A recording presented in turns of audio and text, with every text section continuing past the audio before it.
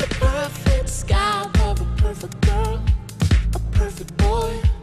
You should know if there ever was a perfect time.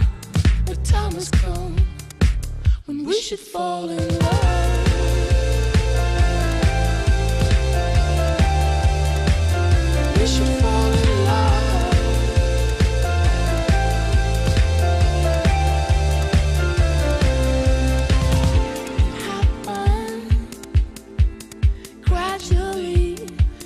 You still don't know.